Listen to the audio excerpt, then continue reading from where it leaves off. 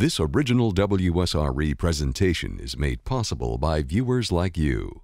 Thank you. We discuss stem cell treatments with researcher and orthopedic surgeon Dr. Adam Anz on this edition of Conversations.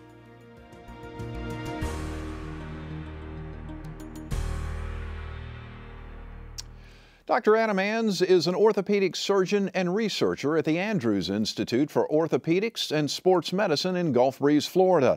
Dr. Anz received his undergraduate degree from Vanderbilt University. He attended medical school at the University of South Alabama College of Medicine and did his residency at Wake Forest University Baptist Medical Center in Winston-Salem, North Carolina.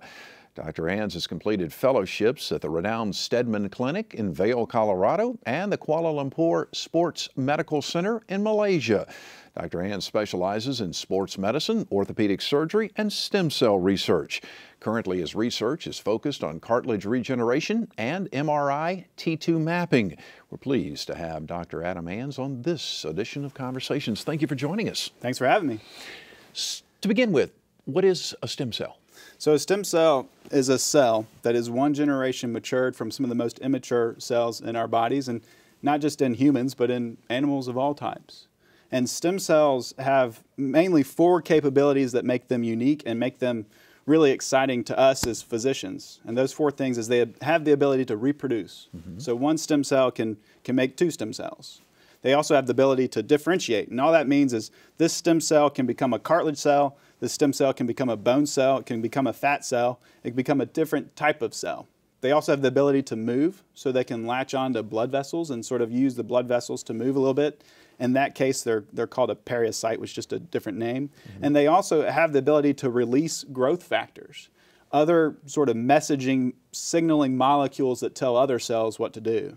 So that's when we say stem cell, that's what we're talking about, and and that's why it's it's fascinating as physicians uh, and also researchers because these are the properties that we really need when we're thinking about how to repair tissues or, or kind of heal different injuries. And so that's that's in a nutshell what a stem cell is. Uh, you know, and it's it's why they're exciting and why they've gained so much interest from a medical standpoint. Now, as I understand it, there are a couple of different types of stem cells. I guess embryonic, and then is it adult stem cells? Correct. You know, when we say you know stem cells, uh, to a certain extent, it's had it's kind of had a bad press and, and mm-hmm. or a bad feel to it, and that's because when we first started studying stem cells, we were studying embryonal stem cells, and and when I say we, it wasn't you know I wasn't involved in embryo. Right, I've right. never been involved in embryonal stem cells.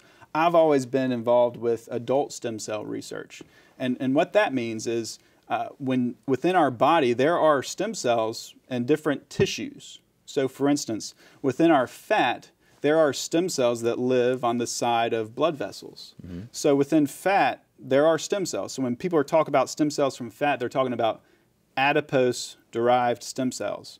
They're just stem cells that happen to be in the fat tissue. When we say stem cells in our bone marrow, you'll hear us say bone marrow derived stem cells. So we're talking about those same cells. So stem cells just is identifying a cell with sort of those four capabilities. And the adult stem cells mean that they're, they're within our body and we can use them or we can, we're investigating the use of them for, for different medical purposes. If you think about a bone marrow transplant, right. when someone has a bone marrow transplant, what physicians do is they take bone marrow from their pelvis, they store it, and then they give it back to them or to a, to a recipient. And so that's giving them stem cells from the bone marrow. So the, the hematology oncology or, the, or cancer doctors have been doing this for for many, many years.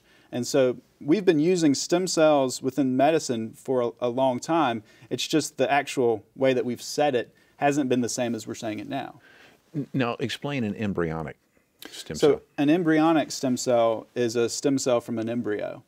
And so, you know, earlier and about 20 years ago, researchers were using cells from, from related to abortions and using those cells to, to look at what we can do with a stem cell and there was funding issues regarding the federal government and, and sort of everything that we developed then we know now we don't necessarily need those stem cells anymore. So, in other words, an embryonal stem cell, when we're, we're thinking about what we're doing with cells, mm-hmm. it's sort of like talking about a VHS tape. you know, okay. we're not really interested in embryonal stem cells anymore. Okay. Um, because it's we don't we're interested in where we can get the stem cells from. And so if we don't need to get them from an embryo, if we can get cells that have just much as much potential from your own body, right. we're much more interested in those.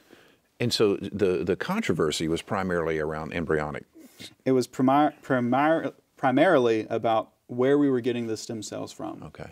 And so, you know, when the first days of stem cell research, where we were getting the stem cells from was what made it controversial. Okay. Now that we can get them from our own body, it, it's it's not controversial.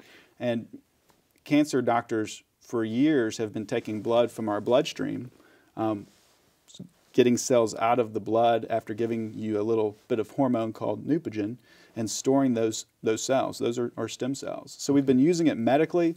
It's just now all different angles of medicine are investigating stem cells. Where so it's become this? a hot topic. Uh, where is this going? How, how fast is this moving, and where does it end up? Well, it was it was moving quickly um, until sort of the past five years or so. The the FDA has appropriately stepped in to regulate stem cell therapy, if, and I think they've done a good thing here. And here's why.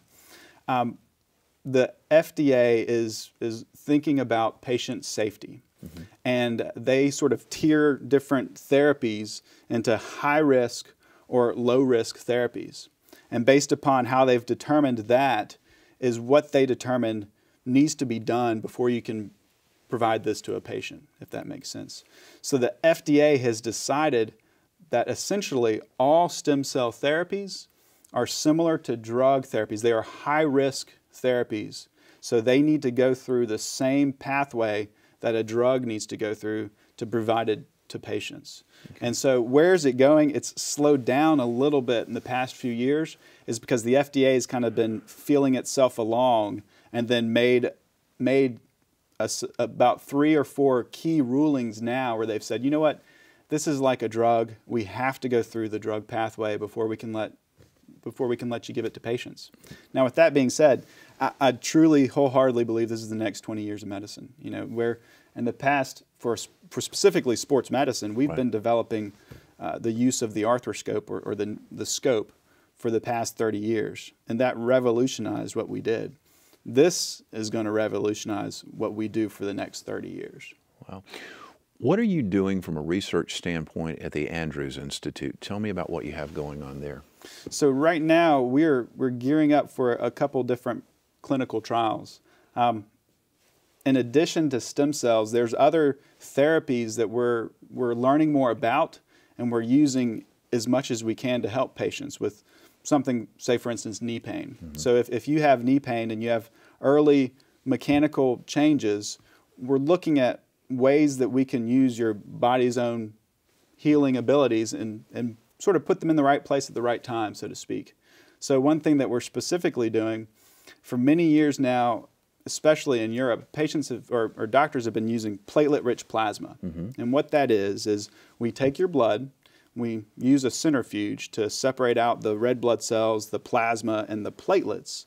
And we take the platelets and then we use them in different instances. So, platelets have growth factors in it, they have some of those signaling mechanisms uh, that help us when we're healing. And so we've been using platelet rich plasma for a while now. Now, the, the exact evidence about how we can use it and how we should use it is not that great yet. And so, one thing we're doing right now is we're putting together a trial where we're going to compare using platelet rich plasma for, for knee pain and early wear and tear changes versus bone marrow aspirate and taking people's cells from their bone marrow and putting it into their knee and sort of compare and contrast and say, well, which one does better? Do they both do well? Mm-hmm. And sort of hash that out. So that's one immediate study that we're, we're putting together. Uh, but we're also gearing up to do a study involving stem cells from the patient's own blood to help with, with cartilage procedures and how we're trying to make new cartilage in the knee when cartilage has either been injured or when cartilage has worn down. Okay. And now, are, are you have a, a, lab dedicated to that at, at Andrews? Is that? Not yet. Uh, okay. We don't. Um, so at the Andrews Institute, we have the Andrews Research and Education Institute, which mm-hmm. is a, a facility that helps us when we're doing clinical trials. It also helps us when we're training physicians on different techniques.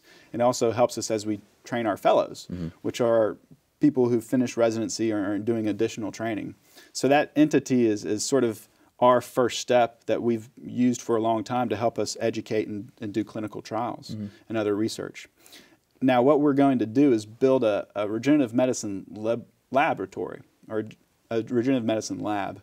And the reason is, in order to do stem cell research, you have to have the ability to harvest, process, and store the stem cells. So, for example, the, the research that I've been most involved with is, is looking at peripheral blood stem cells harvested, stored, and then given at different time points after a, a knee surgery. Mm-hmm. And a, a, gentleman in Malaysia who's become a mentor of mine has been doing this since 2007. And he has, in, in my opinion, the most promising method for cartilage repair that I've seen regarding what's, what's coming in the future with, with regarding the technology.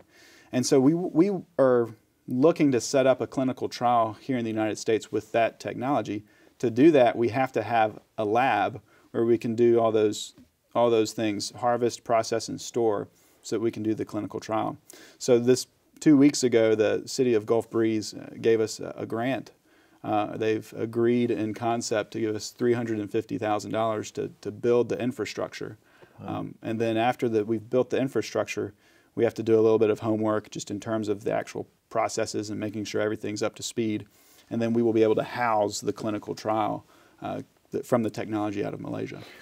So you'll have basically an, an, international brain trust coming together in a way. You know, that's it's uh, what we really hope to do is just take the bull by the horns and be pioneers in biologics. And when I say biologics, it, we're talking about you know stem cell treatments, platelet-rich plasma treatments, bone marrow derived treatments, all these different types of technologies that is, in my opinion, the future of medicine, give them a platform for the different entities from all over the world to come do their studies with us here, mm-hmm. and then also help disseminate that to not only the United States but the world. And so it's it's really about just creating the platform. You know, the platform so that we can do the studies, so that the patients can be treated, but then also so that we can help people and physicians develop this technology and develop the future of medicine. Take me back because you you were uh, did a fellowship in in Malaysia. Mm-hmm. How did that come about, and, and, and what did you learn there? What yeah. I, am assuming that's what inspired you in this direction. It really is. You know, in 2009, I was a resident at Wake Forest in orthopedic surgery, and within your training, you're you're learning from mentors, mm-hmm. and you're kind of watching what they do in different scenarios. And uh, whenever I was in a case where there was an area of cartilage injury, you really sort of watch orthopedic surgeons and, and me currently I, am not pointing fingers we dance around the cartilage injury. Because right now we don't have a great solution. You know if you have an area where you've dinged off a big part of cartilage there's not a 100% fantastic solution for it. So every time you watch physicians they're playing not to lose. You know with with how to treat the cartilage we're kind of we're not playing to win we're playing not to lose. Right. Yeah, that area of cartilage it isn't perfect, but I don't want to look. I don't want to touch it because I don't want to make it any worse. It's as good as we can do right now. Okay. And so in 2009, we had a visitor from Malaysia, and his name's uh, Khay-Yong Saw, and he is an orthopedic surgeon. He trained at Cambridge in the UK, and he's been practicing in Malaysia for a long time. And, and Malaysia is, is a lot like, or Kuala Lumpur is a lot like Manhattan. Um, it's it's when I first went there in 2009, I didn't know where I was going. I was like, what what's Malaysia going to be like? but surprisingly, it's just like being in the United States. You know, it's everyone there speaks English for the most part, mm-hmm. and it's a it's a great a great city and a great country. But when I was there in 2009, I was watching Dr. Saw with his treatment of cartilage, and he was playing to win, plain and simple. He saw an area where the cartilage wasn't perfect. He said, "Don't worry about that." He kind of takes that bad cartilage off. He does an arthro, uh, arthroscopic procedure similar to what we do here for cartilage regeneration called microfracture, which is where you have a cartilage defect. You make a conduit from the bone marrow to the cartilage defect. Blood and mesenchymal stem cells come from the bone marrow and create some sort of repair, but it's not. It's good, but it's not 100% perfect. So he was. He's. I saw him do that and then add peripheral blood stem cells at different time points. So he does the surgery and he comes back and gives different injections of stem cells. And so he's been doing stem cell therapy as a way to augment orthopedic surgery since 2007. And it's spilled over into his entire practice. You know, so it's not just how he treats cartilage, but it's how he treats non-healing bones. It's he uses it to help him when he's got someone with a with an MCL sprain in their knee. So it, it's really spilled in to, to multiple avenues of not only his practice but his partner's practice. And so that, that inspired me because I was seeing someone who was approaching cartilage in a whole different light. You know, he was playing to win. And so that got me really excited about it. And I, I came back and know, when I was over there, I said, hey, you know, how can I help? You know, and so we, we put together a case series, which is just where you collect a number of patients that he's done, and then you, you put together an article, and then you, you ask a journal if they'll publish it. And so we had an article published uh, just on a case series. And at that time, he was doing a trial where he was randomizing people to either the treatment without stem cells or the treatment with stem cells. And so I kind of helped him collect all that data and then put together another article that we published uh, just this past year. So in 2009, kind of began my journey, okay. my stem cell journey. And tell you the truth, it's really kind of changed what I want to be when I grow up, so to speak. Because you know?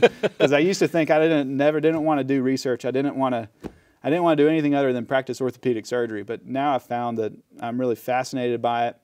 I really, I love working on this project because it's it's the future, and it, it really is a game changer regarding orthopedics and, and sports medicine.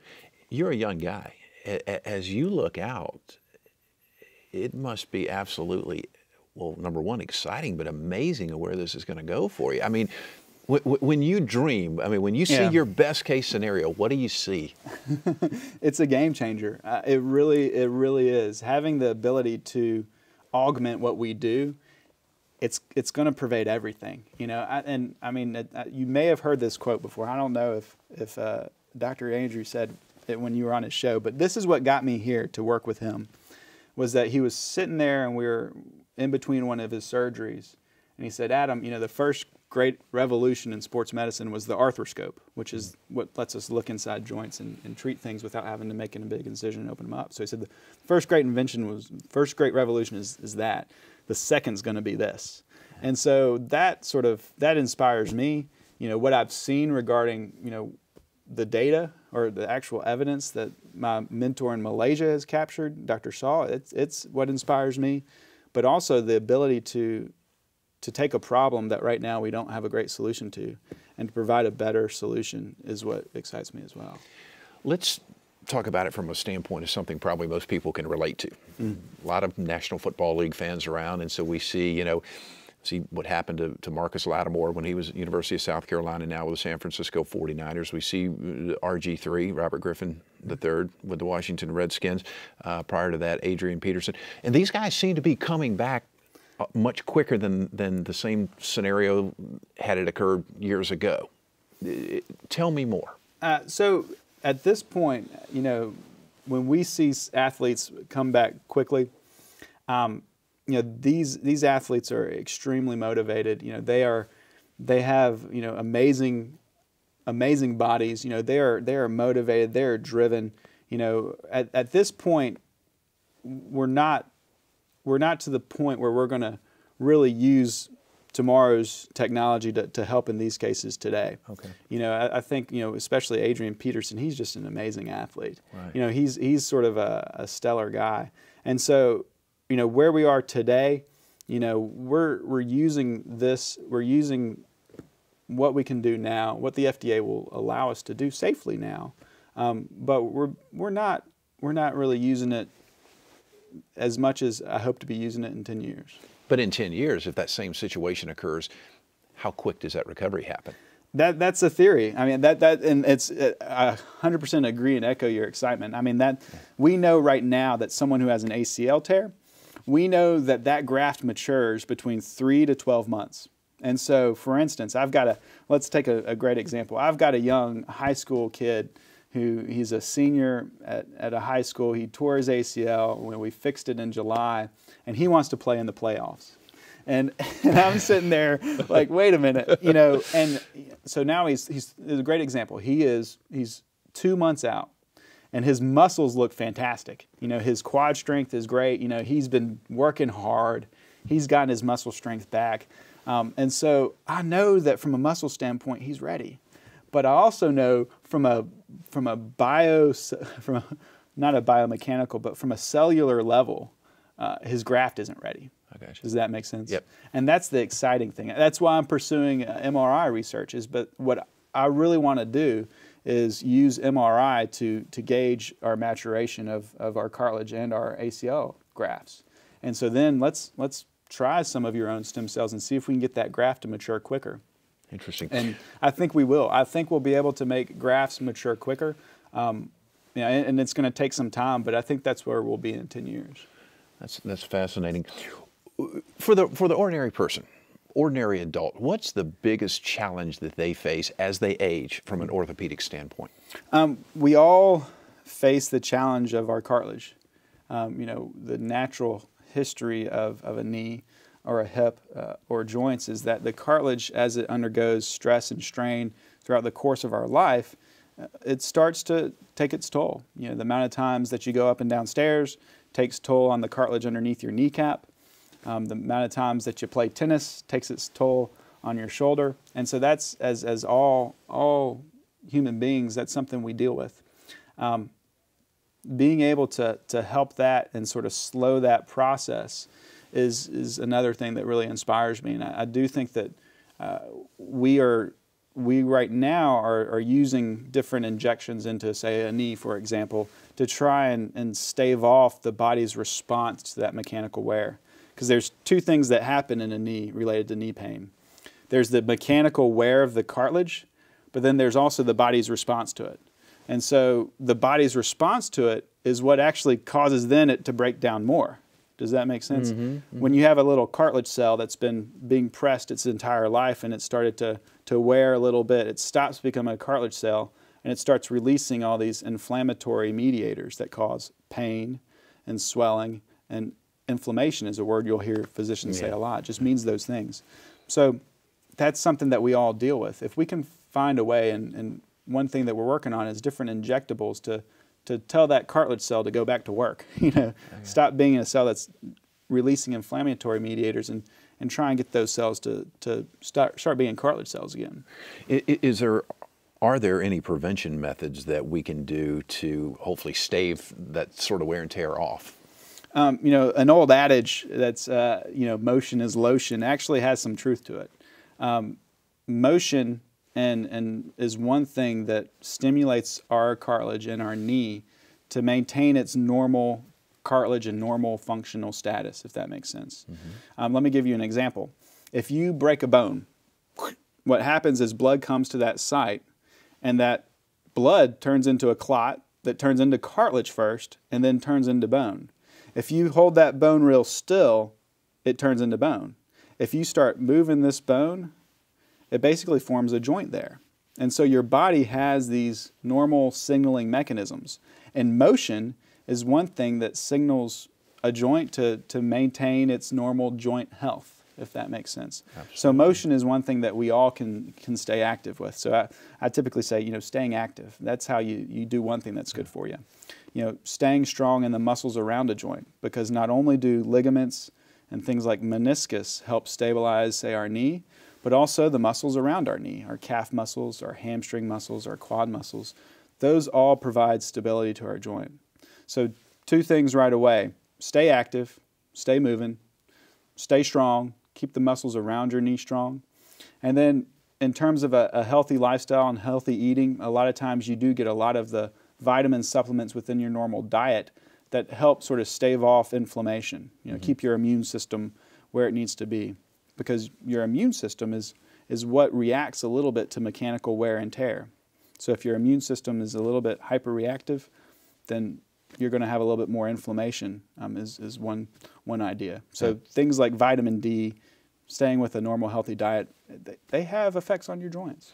I've got just a couple of minutes left. Give me just a, a couple of pointers that uh, parents should be aware of for youth playing sports. How how best protect how best to protect yourself give them an off season. that makes you know, sense. Really give them an off season. If you think about professional athletes, if you think about college athletes, they all have an off season. And um, you know, every day in clinic, you know, we'll have patients who ask them when was the last time they didn't play baseball, and they kind of look up at the sky and they're like, uh, you know, uh, what do you mean? when was the last time you didn't play soccer? Uh, what do you mean? you know, and so the, the point is, you know, g- give your children an off season. I mean, their their bodies really need it. Um, we do see, you know, stress fractures. Uh, we we we do see the wear and tear of, of chronic activity, chronic professional professional like sport. You know, it takes its toll on our bodies. So everybody needs an off season, um, and so that's that's one one thing right away. And then with that off season idea, also you know, let your kids cross train, so to speak. You know, if they get too focused into you know one repetitive activity over and over and over and over and over and over again, you know, they, they might not have as much normal balance regarding their bodies too. You know, we, So, in other words, if, if baseball's their thing, don't just 100% on that. Maybe have them play basketball or Yeah. soccer or track or whatever. let them branch out. You know, let them be. let them be a kid. You know, they're going to be good. You know, Yeah. I mean, the athletes are athletes. You know, they they're going to shine no matter what. They're going to be great. And so, give them some time to have an off season. Give them some time to to relax and be kids and pursue other activities. You know, and and the the great athletes are, are great athletes. You know, they're they're going to shine out and they're going to work hard and succeed. Fascinating, fascinating. I, I'm just curious in about one minute, what, obviously the stem cell we, we were talking about, well, what just, and, and as I said before, you're such a young guy, so I'm going to get a huge future ahead of you here. I mean, wh- what are you just most fired up about? And, and let me let me broaden it past orthopedics, just medicine in general. Uh, I think I'm, I'm most passionate about just pushing forward the technology, pushing forward what we do today. You know, I, I always remember sort of sitting in the office with, with someone who'd had a cartilage procedure and, you know, it had failed. It just, they still weren't doing well. Uh. and th- th- that can't be it. You know, there's got to be more. There's got to be more out there. There's got to be a better way to do what we do. There's got to be a way to make what we do better. And, and that's sort of, you know, I think that's when you, that's I think why I love not only you know stem cell research and orthopedics, but then also athletics. You know, because if you look at you know the great athletes, you know they're always looking to make themselves better. Yeah. You know, and that that I think that's what what why I'm so passionate about taking care of the athletes because they're always trying to get better, and it's the same with medicine. We're always trying to make it better. Fabulous. Enjoy the conversation. Same here. I hope you'll keep us up to date on all your research. I will do. Absolutely. Dr. Adam Anz, he is a researcher and also a uh, surgeon at the Andrews Institute for Orthopedics and Sports Medicine in Gulf Breeze, Florida. We certainly hope you'll watch some more of our conversations online at wsre.org slash conversations. I'm Jeff Weeks. Thank you so very much for spending some time with us. I hope you enjoyed the broadcast. Take great care of yourself, and we'll see you soon.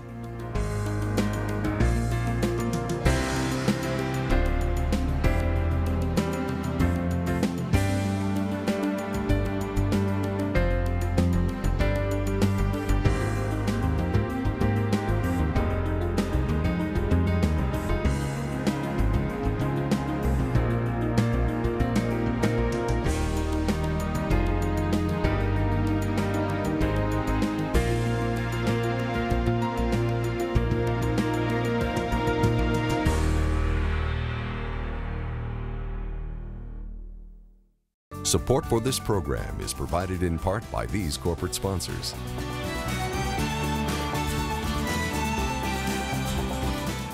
And by viewers like you.